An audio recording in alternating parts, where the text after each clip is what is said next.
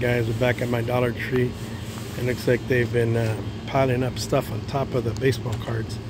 So let me see if we've, there's been a diminishing amount yet.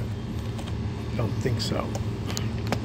So we still have all our boxes. Four, seven, and then these two over here. I'm gonna grab another pack, throw away a dollar and see what we pull. Maybe we pull a Shawn Green rookie card.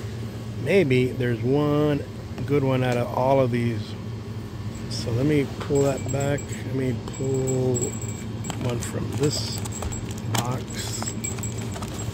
Let me pull that down before it falls.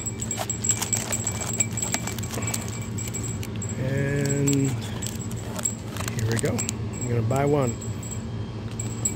Pack a day habit. One a day, one a day. All right, see you out.